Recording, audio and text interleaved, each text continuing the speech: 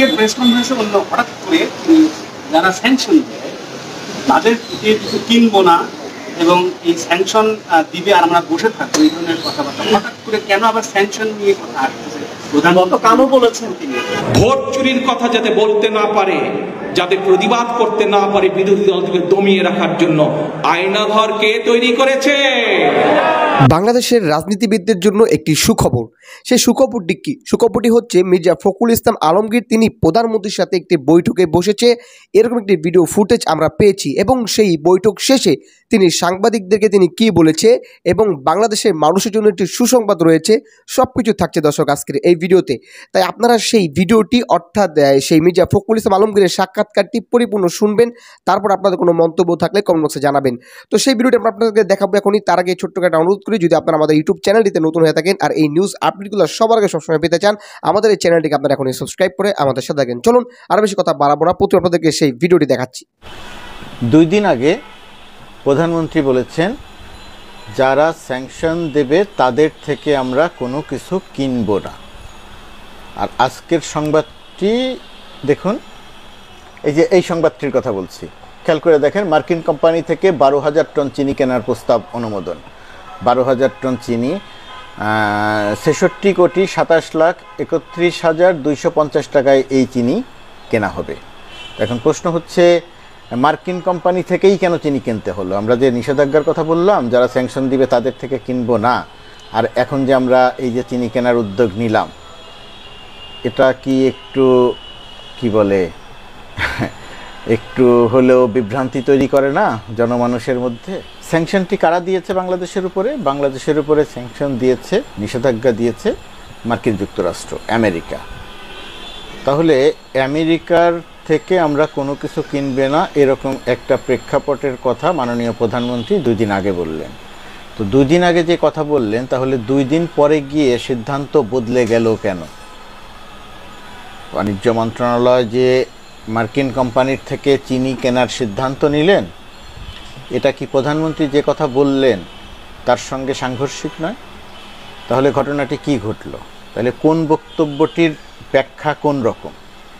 প্রধানমন্ত্রী যেটা বললেন, সেই কথাটিকে যদি আমরা গুরুত্বপূর্ণ ধরে নিই, তাহলে বাণিজ্য মন্ত্রীর এই সিদ্ধান্ত বা বাণিজ্য মন্ত্রণালয় মন্ত্রণালয়ের এই সিদ্ধান্ত প্রধানমন্ত্রীর বক্তব্যের সঙ্গে সাংঘর্ষিক। তাহলে আর আরেকটি হতে পারে যে প্রধানমন্ত্রী বলেছেন তার অবস্থানের কথা, কিন্তু বাণিজ্য মন্ত্রণালয় বা বাণিজ্য মন্ত্রী সেই কথাটিকে গুরুত্ব না দিয়ে তিনি তার মতো করে চিনি কিনে আনছেন। যেহেতু চিনির সংকট আছে, যেহেতু চিনির দাম বেড়েছে, সেই কারণে কিনে আনছেন। এটা একটি দিক।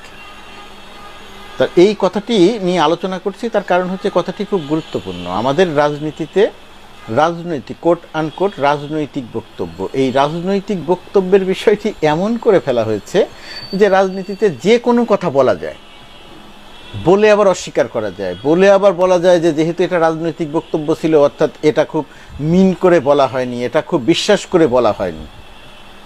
অর্থাৎ রাজনৈতিক বক্তব্যকে এমন একটা মোড়ক দেয়া হয়েছে যে রাজনৈতিকভাবে যে কোনো কথা বলা যায়। এবং সেটা যদি অসত্য প্রমাণ হয়, তাহলে তার জন্য কোনো কিছু হবে না। এই কথাটি বলে যেটা করা হয়েছে, রাজনীতির প্রতি সাধারণ জনমানুষের আস্থা বা রাজনীতিবিদদের প্রতি সাধারণ জনমানুষের আস্থার জায়গাটা অত্যন্ত দুর্বল করে দেয়া হয়েছে। এখন মার্কিন যুক্তরাষ্ট্রের সঙ্গে বাংলাদেশের যে সম্পর্ক এবং প্রতি বছর বাংলাদেশ যে পরিমাণ পণ্য, বিশেষ করে পোশাক শিল্প, পোশাক, তৈরি পোশাক, যে পরিমাণ রপ্তানি করে, সেই পরিমাণ রপ্তানির মানে পরে মানে আমদানি করে। আমরা যেটা আমদানি করি মার্কিন যুক্তরাষ্ট্রে, সেটা আসলে কোনো ধর্তব্যের মধ্যেই পড়ে না। আগেই বলেছিলাম, আগের ভিডিওতে বলেছিলাম ছয় থেকে সাত বিলিয়ন ডলার আমরা রপ্তানি করি ডলারের পণ্য রপ্তানি করি, আর এর বিপরীতে আমরা আমদানি করি, অর্থাৎ আমেরিকা থেকে কিনি point zero zero zero zero কয়েক শতাংশ। এটা কোনো আলোচনার মধ্যেই পড়ে না। কিন্তু তাহলে আমেরিকার উপর আমাদের নির্ভরশীলতা, আমেরিকার নির্ভরশীলতা বাংলাদেশের উপরে নয়, আমদানি এবং রপ্তানির ক্ষেত্রে। অন্যান্য ক্ষেত্রে নির্ভরশীলতার ব্যাপার আছে, মার্কিন কোম্পানিগুলো বাংলাদেশে থেকে বহু বছর ধরে তেল গ্যাসের ব্যবসা করছে এবং সেই তেল গ্যাস যেগুলো মার্কিন কোম্পানিকে দেয়া হয়েছে, সেগুলোর অধিকাংশ নিয়েই প্রশ্ন আসে, সেখানে বাংলাদেশের স্বার্থ কতটা রক্ষিত হয়েছে। কথা বলছিলাম। বিদেশিদের বিষয়ে বিদেশ বিষয়ে আমাদের বক্তব্য যে স্যাংশন দিলে আমরা কিনবো না। তার মানে এই কথাটি আরেকবার প্রমাণ হলো যে আমাদের রাজনীতিতে যে কথাগুলো বলা হয়, সবগুলো কথা আসলে বিশ্বাস করতে হয় না। যদি প্রধানমন্ত্রীর বক্তব্যকে কি বলব, যদি গুরুত্ব না দিয়ে বাণিজ্য মন্ত্রণালয় এই কাজটি করে থাকেন, তাহলে এটা সেই রকম হবে যে রাজনৈতিক বক্তব্য বিশ্বাস করতে হবে না বা বিশ্বাস করা যায় না, সেরকম অবস্থান ছাড়াও সেটা নিয়ে হয়তো অন্যরকম আরও ব্যাখ্যা হতে পারে। তো আমার কাছে মনে হয় না যে বাংলাদেশের প্রধানমন্ত্রী একটি কথা বলবেন বা সিদ্ধান্ত দেবেন, আর কোনো রাজনীতিবিদ বা কোনো মন্ত্রী সেই সিদ্ধান্তর উল্টো কাজ করবেন, সেরকম বাস্তবতা বাংলাদেশে আছে। এটা একটি দিক। এর বাইরে আরেকটি কথা বলতে চাই, সেই কথাটি হচ্ছে যে আমরা যখন এই জায়গাটিতে আলোচনা করি যখন একটি অসত্য, যখন একটি দুর্নীতি, যখন টাকা পাচার, যখন ঋণ খেলাপি, এই বিষয়গুলো নিয়ে যখন কথা বলি, জিনিসপত্রের দাম, এই বিষয়গুলো নিয়ে যখন কথা বলি, তখন এই ফেসবুকে এক শ্রেণির মানুষ আছেন। তারা এসে বলেন, বিএনপির দালাল। তারা এসে বলেন, কত টাকা পেয়েছেন? কত টাকার বিনিময়ে গোলামি করছেন? ইত্যাদি ইত্যাদি কথা বলে। আমার খুব জানার ইচ্ছা যে এই যে মানুষের মতো চেহারা মানুষের মতো চেহারা সম্পন্ন এই মানুষগুলো আসলে কারা? মানুষের মতো দেখতে এরা আসলে কারা? এরা কি সত্যিকার অর্থেই মানুষ? মানুষ যদি না হন, তাহলে আমরা যখন বললাম যে বাংলাদেশ থেকে হাজার হাজার কোটি টাকা পাচার হয়ে যায়, এই কথাটি কি অসত্য? কথাটা তো সত্য। তো ওই যে মানুষের মতো চেহারার যে এসে আমাকে বলছেন যে আমি দালালি করছি, আমি গোলামি করছি, আমি সরকারের বিরোধিতা করছি ওই টাকার ভাগ কি সে পেয়েছে? সে পায়নি। তাহলে কেন বলছে? অন্ধত্বের থেকে। ওই জন্যই বলছি, এরা মানুষের মতো দেখতে, এরা কিন্তু ঠিক মানুষ নয়। সুতরাং এদের কথাকে আমি গুরুত্বের মধ্যে আনতে চাই না, কোনো মন্তব্যের উত্তরও দেই না। কিন্তু মাঝে মাঝে মনে হলো যে এই মানুষের মতো চেহারার যে মন্তব্য করেন কোনো জ্ঞান বুদ্ধি ছাড়া মন্তব্য করেন, তাদের বিষয়ে এই কথাটি একটু বলে রাখা দরকার। দেন এতদিন ধরে আমরা যে টাকা পাচারের কথা বলছিলাম, এতদিন ধরে আমরা যে ঋণ খেলাপির কথা বলছিলাম, এখন শিল্প প্রতিমন্ত্রী কামাল মজুমদার দেখেন, একই রকম কথা বলছে বা তার চেয়েও ভয়ঙ্কর তথ্য দিচ্ছে। যারা সিগারেট চেয়ে খেত, তারা ব্রিফকেস নিয়ে ঘুরতো, তারা এখন ব্যাংকের মালিক। সরকারি ব্যাংক থেকে ঋণ নিয়ে বেসরকারি ব্যাংকের মালিক হয়ে গেছে। বাণিজ্য মন্ত্রীদের ভেতরেই একটা সিন্ডিকেট আছে। বাণিজ্য মন্ত্রী নিজেই ব্যবসায়ী, জিনিসপত্রের দাম বাড়ানোর ক্ষেত্রে তার দিকে তিনি ইঙ্গিত করেছেন।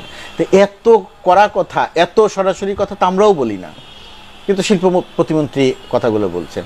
তো এখনকার শিল্প প্রতিমন্ত্রী কি তাহলে বিএনপির দালালি করছেন, গোলামি করছেন? কি করছেন তাহলে?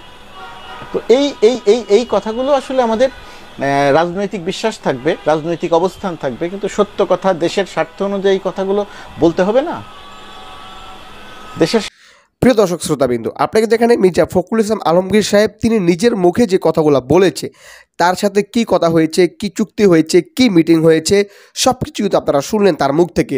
দর্শক, বাংলাদেশের একজন সচেতন নাগরিক হিসাবে আপনি যদি বাংলাদেশের রাজনীতি সম্পর্কে জ্ঞান রেখে থাকেন, আপনার মন্তব্য কি, মিটিং সম্পর্কে সেটি কমেন্টসে জানাবেন। আজকের মধ্যে পর্যন্ত আবারও দেখা হবে, সকল ভালো থাকবেন, আসসালামু আলাইকুম।